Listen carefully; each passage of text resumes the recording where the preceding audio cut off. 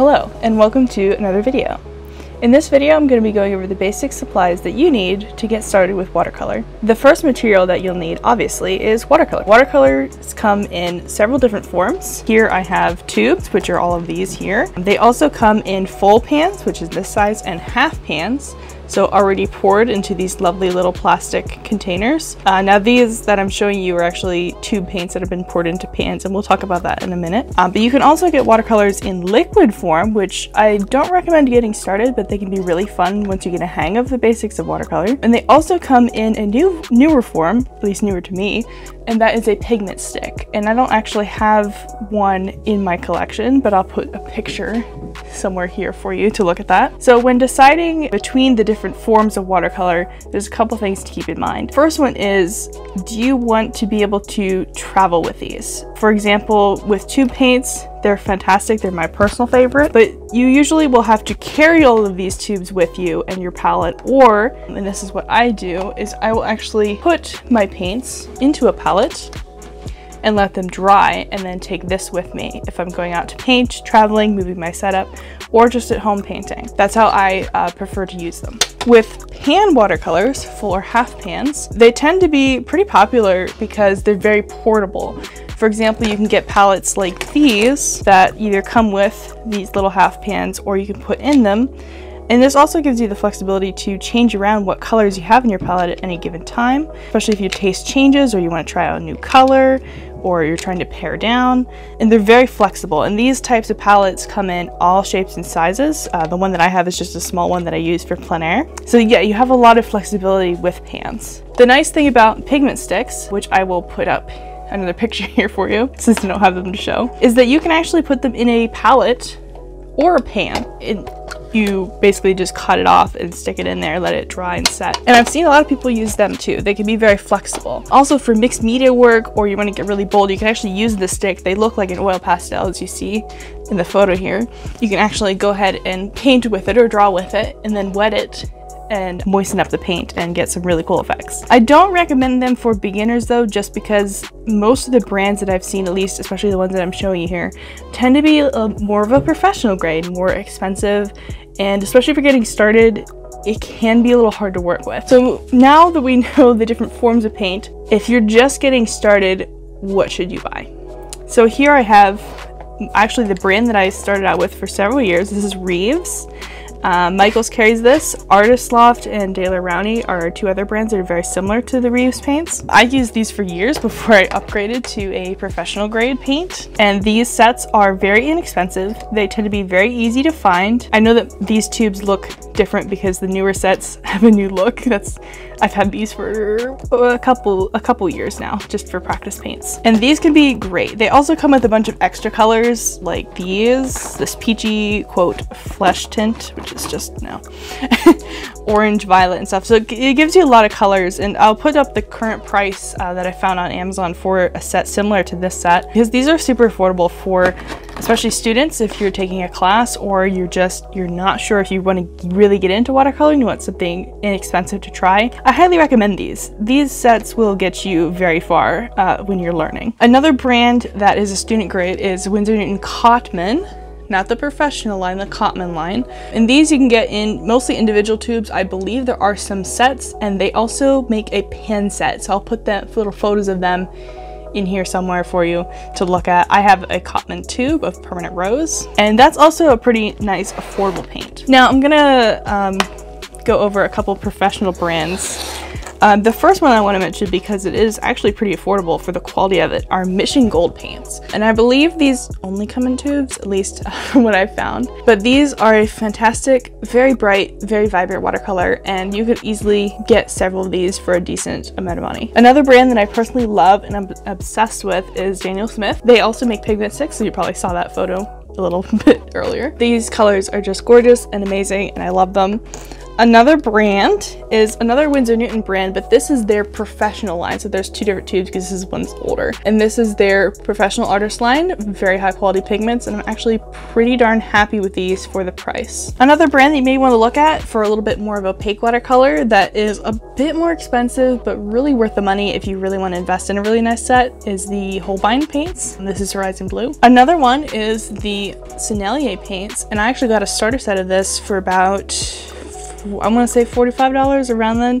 And that was pretty affordable for the colors that I got. So some of these professional sets are actually quite affordable. And another one that actually is a really good bang for your buck, depending on the pigments that you buy, are the M. Graham watercolors. Um, and I've actually been playing a lot with these. These are fantastic.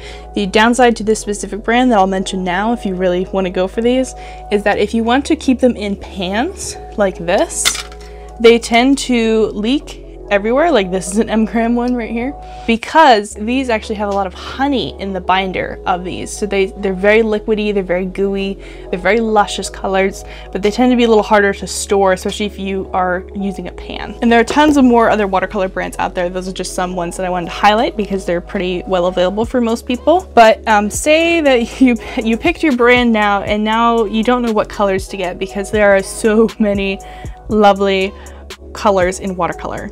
I'm gonna make it really simple for you. I'm gonna say that all you need is a warm and cool blue, a warm and cool red, warm and cool yellow, and then I also recommend getting a couple earth tones, and I have the Reeves Burnt Sienna. Highly recommend Burnt Sienna in any brand as a color, in general as a neutral. And Burnt Umber, you can also use what is called a Van Dyke Brown, and I don't have it physically in front of me, but I use that color a lot. And I also recommend getting a black, and some watercolors are gonna really hate me for this, but when you're just starting out and you're learning to mix, having a black can really be helpful, especially if you're doing illustrative work and want outline things, or you're doing like starry skies, things like that. It's just a helpful mixing color to have. You can mix very close to black or very pretty darks and really vibrant deep colors with these other colors, but I find that having a black is just really helpful. On that note as well, I also recommend having either a neutral color like Daniel Smith's Neutral Tint. Winsor Newton, a couple other brands also make this color. Or a Payne's Gray. Payne's Gray tends to be a bit bluer. It's a gorgeous color and honestly, especially when I was getting started, you can see just how this tube is just half gone, over half gone. I use this a lot and I highly recommend it for mixing. It's just, it's a lovely color to have. But if you had to pare it down even more and say that you couldn't afford a bunch of colors, I would get the Warm and Cool of each of the primaries, a burnt sienna, and a black. So if you had to pare it down to eight colors, that's what I would do. If you can get 10, this is a little 10 color set. This will get you really far. And like I said, the Reeve sets and Daler Rowney and the Artist Loft brand sets tend to come with other colors. You're not necessarily gonna use them as much as you think, but it's also just nice to have to play with. So a lot of these student grade sets will be very affordable and you'll be able to play with a lot more colors. Now that being said, if you are getting serious about watercoloring or you think that you're going to really love it and going to be using it for many years, or you just want something really high quality to work with when you're learning, I highly recommend this set and I did an unboxing and swatching of this set. This is the Daniel Smith Essential Watercolor Set. It's a split primary. So it has a warm and cool red, warm and cool yellow, and a warm and cool blue. And that's it. There's no neutrals in this. Uh, but I highly, highly recommend this set for more um, professional grade starter set. And these colors can get you really far and we're going to be exploring a bit more about color mixing and this set will definitely be in that feature. So if you want to see what you can do with this specific set and this specific set, stay tuned for some upcoming videos. Now I recommend that if you get a set like this that you get a burnt sienna and either neutral tint or black or both um, because the thing that this set is lacking is a neutral black. I personally like to have them uh, you can get away with most things with just these split primaries, but it's always nice to have these other colors. So I hope that helps you figure out what to buy if you're looking to invest in watercolors. So you have your watercolors, you are really excited to get started, but now you need a palette. So I've already shown this guy and I'm going to mention this guy again because this is a tin palette that uses half pans. All of the colors in here are actually from two paints that I have put in these little tiny half pans and let them dry and put them in this palette. These palettes are fantastic if you want to put your tubes or your you know, your pre-bought pans in these palettes and move them around, rearrange them. They're easy to store, easy to travel with. This particular one is a very small set for like plein air. Um, and these tin palettes are actually really fun to mix on. And yeah, they're just overall really convenient, really nice. You can have it all in one and not have to worry about it. Please note that these are not airtight, so your paints may not stay moist just because it's not sealed. So that is a good option. Another one, which is another metal palette, this one's aluminum, um, that I have tube paints squeezed out in this. This palette you would have seen a lot in my videos. It's because it is my favorite palette. And these are really nice because they're a good size. You can get all different, different shapes and sizes and also has a thumb hole. So if you want to stand and paint on maybe an easel, maybe you're working with drips or something, um, the, these types of palettes are really convenient for that. You can also get plastic palettes of the same similar style, and this is a very inexpensive, I think I paid six bucks for this, plastic palette, which we're going to be playing with in a couple upcoming videos, that's why it's empty. Now, if you want something a little more robust, I highly highly recommend a palette like this. This is a sealable palette, um, so it has a nice little rubber gasket here and also a pull-out tray for extra mixing space. I have several of these palettes actually. They're the second palettes that I've ever bought for watercolor. Still see that it gives you plenty of space to put your tube paints in. You can even set your half pans in these little wells as well if you want to. Maybe not the most ergonomic, um, but you can do that if you have pan paint. And these palettes will keep your your paints wet much longer. You can also take a moist sponge and put it in here and close it to keep your paints moist.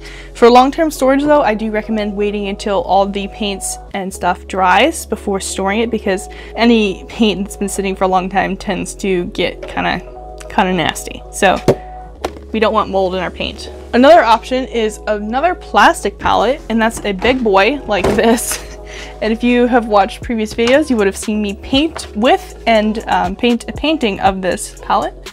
This is a Masterson Aqua Pro palette. And this gives you a ton of mixing space and a ton of wells. Um, as you can see, I have tons of paints in here. So if you're working at home, you're not really traveling with your paints very much, or you just you want to work big you need a lot of space. I highly recommend a palette like this especially one that lets you use the lid as a mixing area as well like this is. Um, so that's just a bigger option for you. Another option which is very popular with a lot of artists is using a ceramic or porcelain palette here i actually have a plate a ceramic plate that I use as a palette. I can actually pour out fresh two paints on this, let it dry, and use it as a long-term palette, or if I know I'm going to be using up a lot of paint, um, I can mix it as is, clean it all off when I'm done, and start fresh for the next painting. The really nice thing about porcelain and ceramic palettes is that they're just luscious to mix on, and we'll talk about that a little bit later with techniques and color mixing. Uh, these also come in tons of shapes and sizes. As I said, this is actually a, like a serving plate, a rectangular serving plate, and it's perfect. It works really well. They also make ones that have little wells, um, like little flower shapes. Like you can get really crazy with these, and they're just really beautiful palettes. Um, just note that some of these ceramic and porcelain palettes tend to be pretty small unless you get a big one like the Masterson one I showed you. Um, so just keep in mind that some of them may limit your mixing space. But say you don't really have a official palette and you're just wanting to get into watercolor to play with it, um, you can take a nice white plate and just don't eat off of it. Use it as a palette. Or go to Goodwill or another thrift shop and find a nice little white plate. So these are really, can be very affordable. The downside of these is that they are fragile. Uh, they, I don't recommend traveling with these at all. They tend to be very easy to break or crack. So yeah, that's the downside of this. And the last one I want to mention is palette paper. So I actually have some watercolors here on this palette paper that is taped to a board. And this is an option for those of you that maybe have experience in oils or acrylics or even gouache. Some gouache painters use palette paper. And maybe you have some that's lying around, you're just wanting to get started, you don't want to invest in another palette or look for a plate to use, etc. And you just want to play with it. You can absolutely use palette paper as a palette. Uh, now this I am putting last just because it's not the best option because as you can see here, you can see how it's beading, how this paint beaded. This is dry now, but how this paint beaded, it's kind of hard to see because this is a gray paper. Um, you can also get white palette paper as well, but it's a little bit harder to see what you're mixing, um, how much water you have, and they tend to bead up. So it can be a little problematic that way, but it is a very nice, inexpensive option if you're just wanting to play with it. So the next big thing that you're gonna need, um, uh, the next material for watercolor is obviously surfaces, and in which case is mostly paper, but we'll talk about a few other ones. So watercolor paper comes in many forms. The first one that I want to mention, just because it's probably a very common one, is the pad. So this is just a Strathmore student grade pad of paper and a watercolor paper pad is glued on the back side just like a lot of drawing pads are so you will take this off when you're done or just you can flip through it actually too pretty easily. So that is one form that you can get. And you can get all different sizes, pre-cut sizes like this, or larger sizes to cut down. Another form that is very popular and that I personally really like are blocks. So this is a more student grade block here. A block usually has either all four sides or in this case, the top and the bottom side glued and the, the sides are open on this, this brand block. And then you can use a palette knife, a knife, your finger, a brush to actually peel off your painting. The downsides of blocks are that it is kind of hard to work on more than one painting unless you want to rip off the paper every time and tape it, in which case kind of defeats the purpose of a block. But these are also really nice for traveling. So if you are out plein air, I love to take these out in the field. I have another one here of a paper that I personally like. This one has all four sides gummed, and these are just really nice, especially for outdoors because it's simple, you don't have to worry about taping it, etc. Another form of paper that is very popular are sketchbooks and ring-bound sketchbooks. This is a student grade paper that is quite affordable and they come in a bunch of sizes and each page is perforated so you can always take it off and tape it or you know move pa pages around as needed. These are really popular especially when you're getting started or keeping like a sketchbook and I actually highly recommend having at least one of these for just practicing for mixing because they're super easy to flip through. It's really nice to see your progress and then if you want to have a separate pad or loose paper or block for your finished work you can absolutely do that. Here I have a little Strathmore watercolor travel journal that I've been using as more of a swatching thing. So like you can have a lot of fun with. I don't recommend these for finished paintings but, you know, when you're getting started, I guess it doesn't matter too much. But if you want like a finished painting that you can go and frame, I'd recommend using a, another form of. Now, you can also get sheets, and this obviously is not a full sheet. This is one that's been cut down. But you can buy huge full sheets of watercolor paper, including professional grade cotton paper, if that's what you want to use. And it's relatively affordable. The downside of getting sheets is that you have to store them, number one, and number two, you have to be able to cut them down to the size that you need. But these can be a really affordable way actually of getting really nice paper because a lot of the more expensive brands are, tend to be cheaper if you buy them by the sheet versus something like a pad that's pre-cut to a specific size. We've talked a lot about paper, but there are actually a couple other things that you can do um, with watercolor. And the one product that I want to show you real quick because it's really cool are these aqua boards by Ampersand. Um, and they have a absorbent clay-like texture on these hardboard panels. So if you're familiar with acrylic oil painting, you probably have worked on one of these at one point. But this actually has an absorbent surface. And I don't have any finished paintings on these because I haven't done anything with these yet. But these can be a lot of fun. Another surface that you can actually make yourself using a watercolor ground. Now here I have the sample bottle of Daniel Smith's titanium white watercolor ground. Um, and this basically allows you to use this as like a paint, let it dry, and it'll actually make the watercolor absorb into this surface. So you can actually paint on wood panels like this, um, I'm pretty sure you could probably put this on glass or other things, don't quote me on that. but another nice thing about watercolor ground is if you mess up a painting on paper, you can actually use this to repair it, or I've done like mini tears with. So that's another option. So these are other little tips and tricks and products that you can try um, if you don't prefer paper. Um, paper I recommend starting with, but you know, if you want to experiment and have some fun, there are plenty of other options for you to do that. So briefly, I want to explain the difference between a cotton paper and a wood pulp paper and why it is important to know the difference.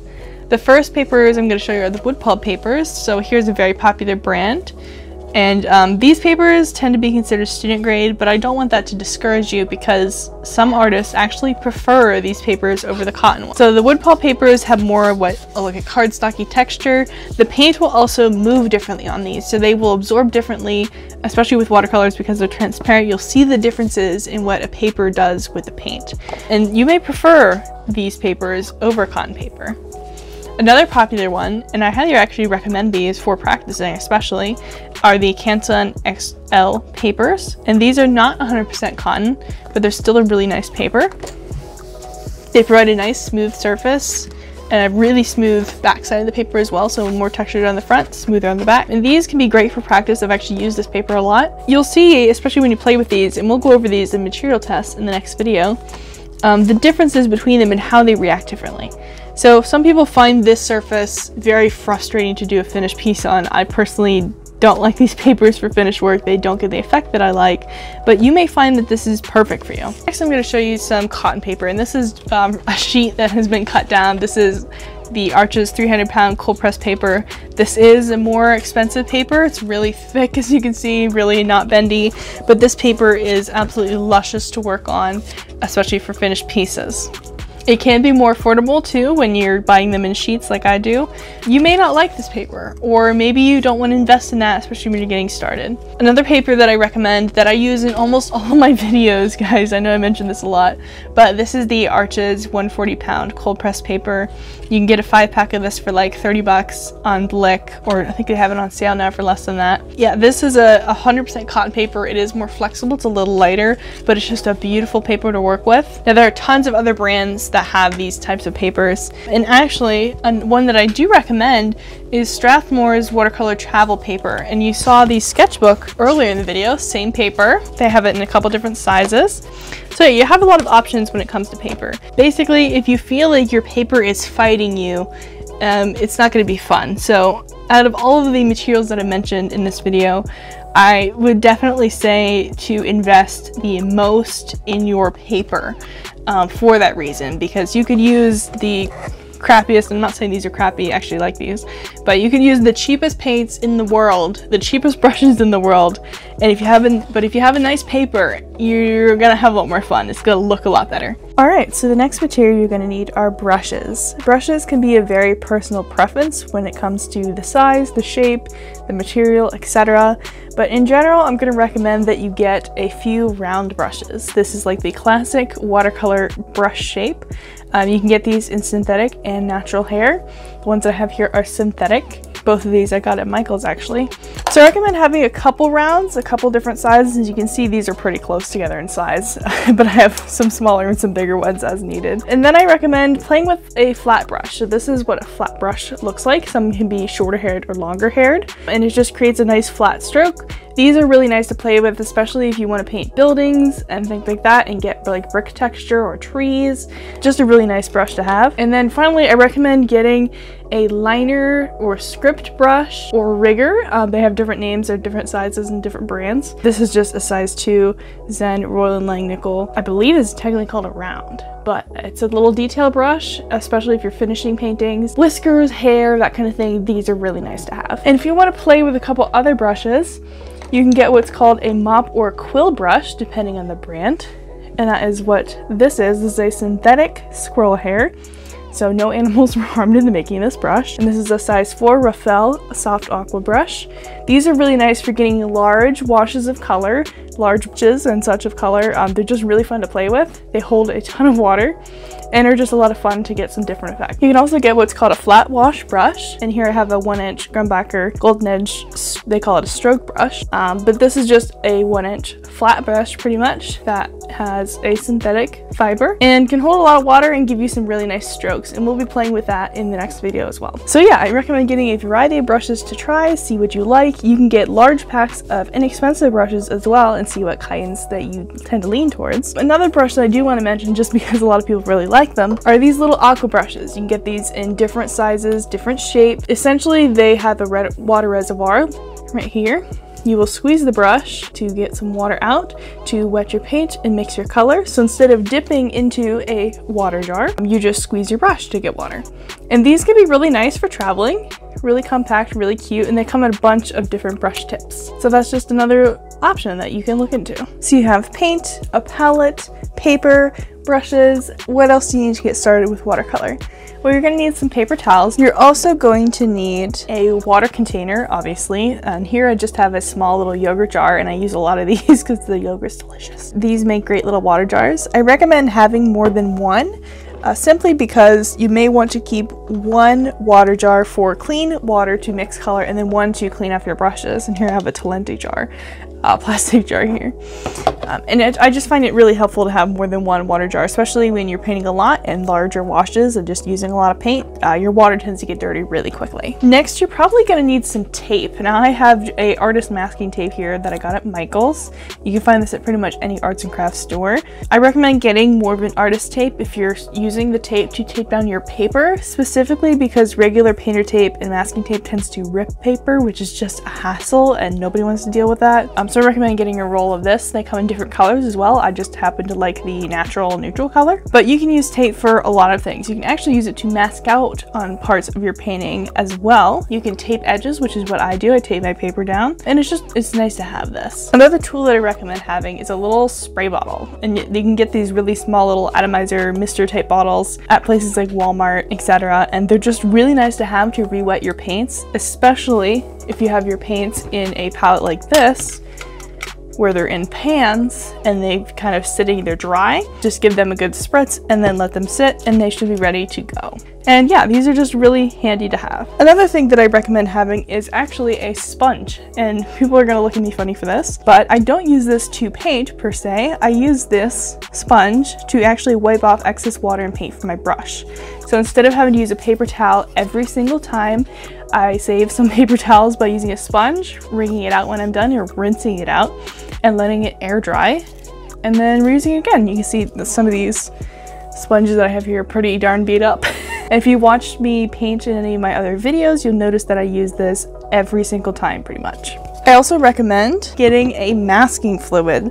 So this is a little bit fancier. Uh, masking fluid is basically like a li liquid latex. And what it does is it will actually prevent paint from touching the paper underneath of where this is placed.